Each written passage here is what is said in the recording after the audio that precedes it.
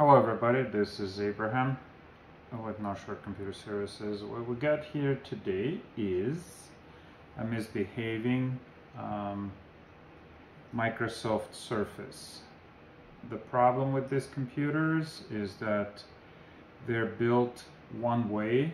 They're built nice and solid, but when they break, there's you cannot take them apart. They're, if it's just a tablet, uh, the screen will crack if you try to open it. In other words, we'll try and fix this without having to take it apart. This has the classic blue screen of death. Uh, it just loops with this automatic repair garbage and it does not solve the problem. So if we push and hold the power button, it will shut off. Come on some reason on these things you gotta hold it long. Much longer than on regular computers. So try to turn it on. And uh, instead of going to Windows uh, it will just go into the preparing automatic repair. So it just basically does that on a normal computer, I would replace a hard drive. On this computer, uh, if there is a hard drive, it's most likely on board. So not much can be done about it. Uh, we are going to try and wipe the system completely. Uh, there is nothing on here that person needs. Uh, we're not going to recover anything. Uh, we're just going to try and fix this computer. So let's push and hold and kill the computer once more.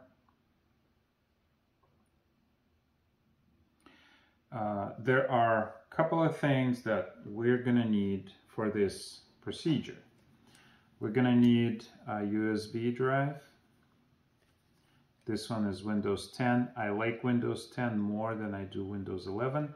Uh, once we install Windows 10, test it out, we can uh, upgrade to Windows 11, I'm sure.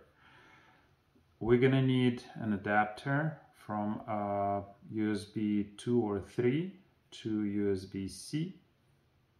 You'll see in a moment. So that goes here. We're gonna need, oh, we're gonna need a mouse. Uh, corded, cordless, doesn't matter. And it doesn't matter where this USB adapter goes, where it goes on, whether it goes on a mouse or on a, um, the flash drive doesn't matter. So this is the installer for Windows 10 the mouse. Uh, the computer only has USB-C audio jack and the regular USB on this side just the power connector. Um, battery is okay but I'm gonna keep the power plugged in. All right let's connect it up. We're gonna connect our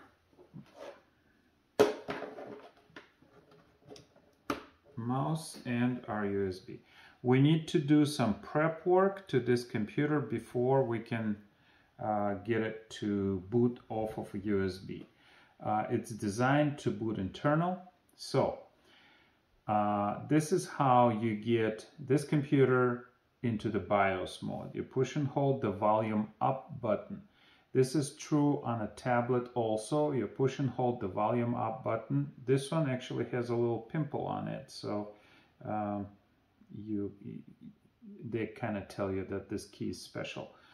F8 is also special. We don't use that one right now. So we push and hold the volume up button and we start the computer by pushing the power button. We hold that until we see um, our BIOS screen. Okay, inside of the BIOS screen, the mouse is working, so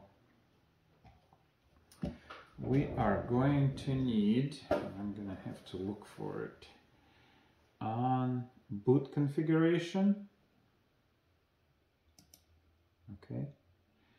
Uh, in the boot configuration, the USB storage which is on the top here right now, it is usually on the bottom. So all you have to do is just drag that over and you can see the USB storage is on the bottom. Drag that oop, to the top. Oops, come on. Hard to do it upside down. And now USB storage is on top. That's all we need to do. We want to make sure that the computer first boots from the um, USB hard drive. And uh, we go to exit and restart now.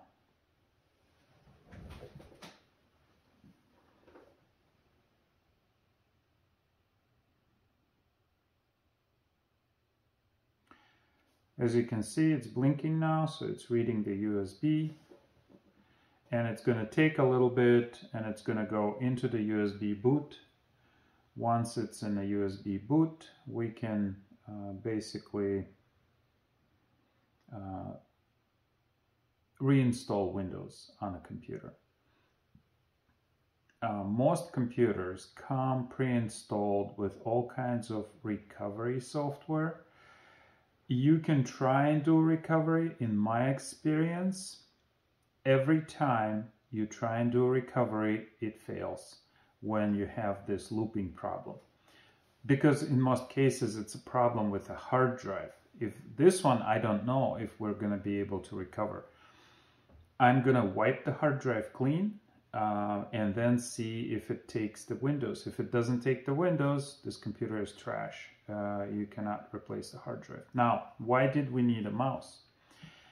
Unfortunately, once it boots into this mode, not the mouse, not the keyboard, they don't work. You have to use an external mouse.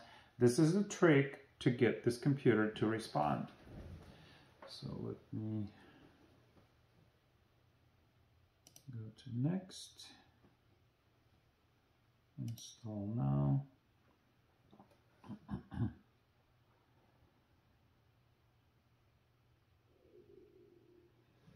Let me see if I could bring the display closer. I hate these reflective screens, can't see properly. Okay, we are going to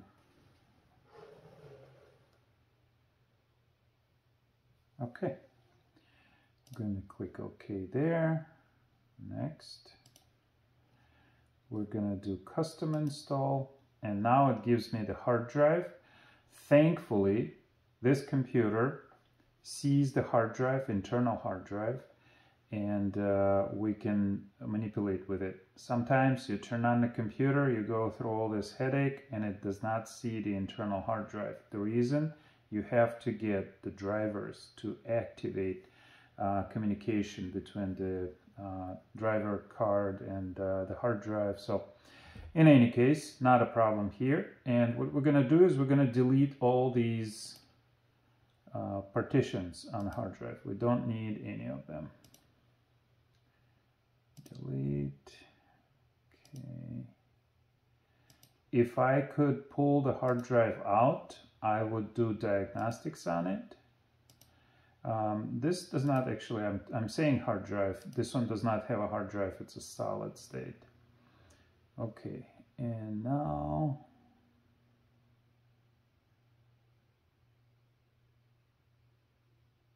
we just click next. So we only have one partition, it's clean, uh, one, looks like one terabyte drive. Next also what happens when you do um, delete all the partitions from the hard drive is uh, if I'm saying hard drive, I mean solid state in this case, but it doesn't matter, just terminology. Uh, all of the uh, partitions deleted. When you install, reinstall Windows on a hard drive, it will use different location for the Windows uh, operating system, which means that um, even if the hard drive has a problem on it, it will use different locations. So hopefully it will not cause a problem immediately. Eventually it will still cause a problem. In my experience, and I have a lot of experience, uh, hard drive replacement in this case would be absolutely, absolutely um, imperative. You, you want to replace your hard drive or solid state. Um, however, in this case, it may have been a virus that caused this problem. If a virus causes this problem, wiping the hard drive is not a uh, no-brainer. Also, these computers often come with BitLocker enabled. If the BitLocker is enabled, um, I have one of the videos where this is the procedure you do. You just wipe all the partitions of the hard drive, reinstall it, it works again. The BitLocker does not use any um, hard drive's hardware to encode it. It just writes on top of it. Uh, it just uses its own encryption to use the hard drive to basically create it unreadable. It is still visible by uh, recovery machine. It's just you cannot mm, get it without having that key. You cannot access it. In general, BitLocker, I would recommend not using it. Just more problems than solutions. In any case, as you can see, the installation is progressing. Uh, I may have to resort, I didn't think about it right now, but I may have to resort at plugging in the keyboard if I have to connect it to my uh, Wi-Fi. Now, once the computer is working and we can boot into Windows normally, the keyboard and trackpad might not still work. If that's the case, uh, you have to install all the updates and all the drivers before you can use the keyboard on a computer. This is kind of strange that it does it. Um, not sure why would keyboard and mouse or trackpad not work. Uh, and actually the touch screen does not work either. So this particular, and I've tried it with Windows 11. Uh, I didn't do the wipe, uh, but I tried the Windows 11 disk and just to see if any of the drivers are included in Windows 11 for um, Surface, they're not. So Windows 10 installer or Windows 11 installer work exactly the same. I like to have, so when I create the installers, uh, I put a date on it. So this one is from September of last year. So this installer is actually over a year old. So a lot of updates are going to be put in by uh, the system once this is complete. And I like that because that gives me a good testing on how the computer is operating. So right now it's going to reboot and it's going to boot right from the uh, USB. So that's a problem. Um, let's see if it does it. Sometimes it does, sometimes it doesn't. I think it's just going to go back to USB. Uh, no, okay, good. Smart enough to see that uh, there is an installation on a hard drive. Um, but see, the installation was there before. It just didn't work. So I guess uh, uh the installer is smart enough to say, hey, don't boot from me. Oftentimes it's not smart enough. And uh, what happens is if you don't pull this out, it'll continuously boot from the USB because we put it number one. Uh, then you pull it out, restart the computer, and it'll boot from the internal hard drive.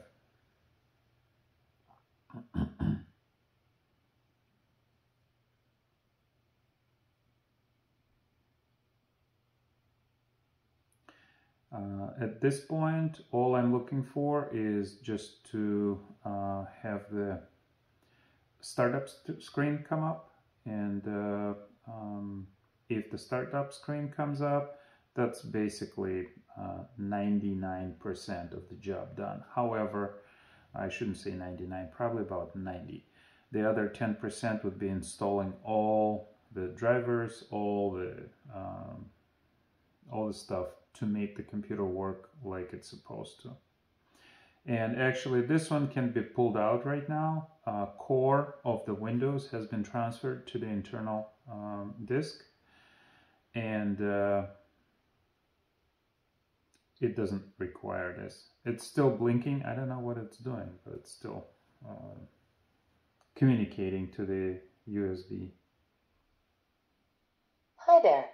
I'm Cortana, All right, so and a I'm lot here of to help. stuff works. Let's see. A little sign in here, a touch of Wi-Fi there, and we'll have your PC So ready for all you keyboard and mouse don't work. Use your voice or the keyboard along the way, and if you'd like me to stay Let's see. quiet, just select the little microphone icon towards works. the bottom of your screen. Let's make you quiet. Okay, the mouse works. It's gonna go through its uh, procedures and steps. and I'm gonna say yes. Um, yes. Skip. So uh, as you can see, the procedures is is not that hard. Uh, we're gonna just do don't have internet and uh, continue with limited setup. And this is the reason why I like Windows 10. And here we have a problem. a problem is I have no keyboard, can't type on it. So I have to get um, get an external keyboard here. So the keyboard that I like to use is this. It's got the mouse, got the keyboard. It's wireless, but as you can see, so I don't lose it, I have it visible. And let's unplug our mouse. Computer should be smart enough right now to re realize the change, change of heart. I'm going to see now I can type. I just don't know what to type. Okay. And this screen I like to disable almost everything. I don't agree if I have a chance not to agree with something and still be able to use the computer, I'm not going to agree. Uh, don't need this.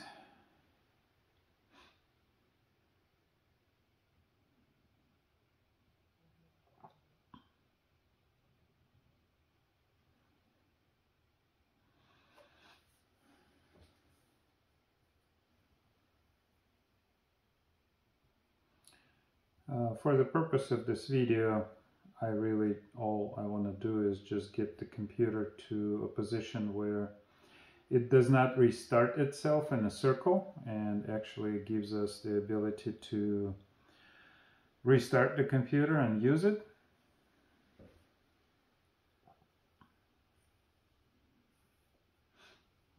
And at this point, everything seems to be going just fine.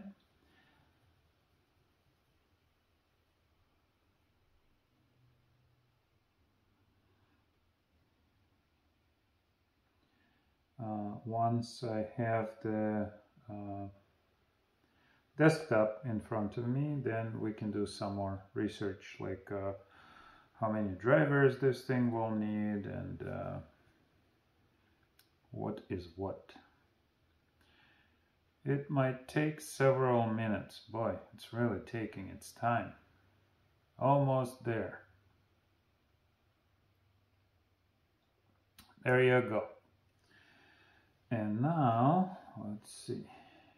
I don't know why it lost focus. Come on. All right. Come on. What's going on? As soon as the screen became not black, see what I'm doing. Okay, what I want to do is just unplug this. Could have unplugged it sooner, don't need that. We're just going to restart it and see okay and see if the internal keyboard works so the sound we know is working so some drivers are okay.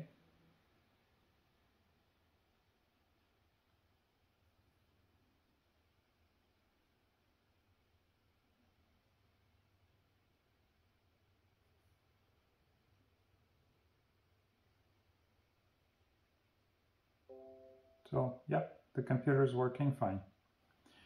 Now it's a matter of, uh, oh yeah, I want to see that. Now, of course, the keyboard is not working and uh, the mouse is not working, but that's something that we can work on. Let's.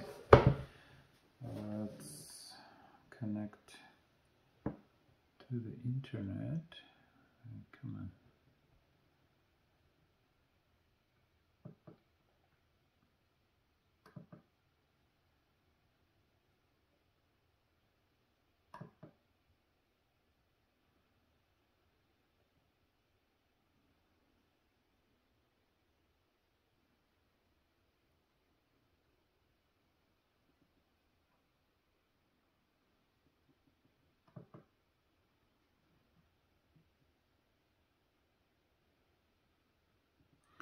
It's a little hard to work upside down.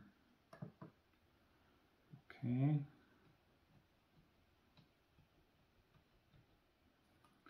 Enter.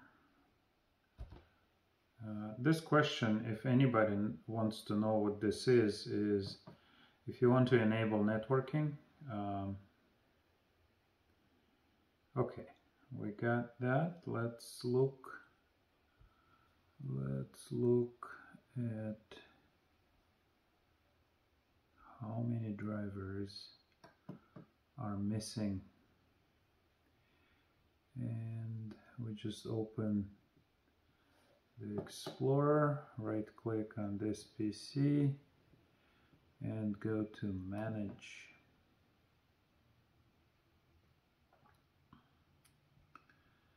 And device manager Oh, uh, everything's missing. Okay, that's fine. We are going to, now that it's online, we're going to go to settings and we're going to go to updates and let, yeah, so it's gonna, there, lots and lots of updates. So at this point, the computer is working. It's just a matter of uh, getting the drivers installed to uh, activate the keyboard and everything. Hopefully this helps somebody. If uh, you can get your computer working, give me a like, enjoy, subscribe. If you have any questions, comments, leave them below. Thank you for watching. There, see, it's installing drivers. It's installing um, like a video driver and stuff. So it's just gonna go through and install. Thank you for watching. Bye.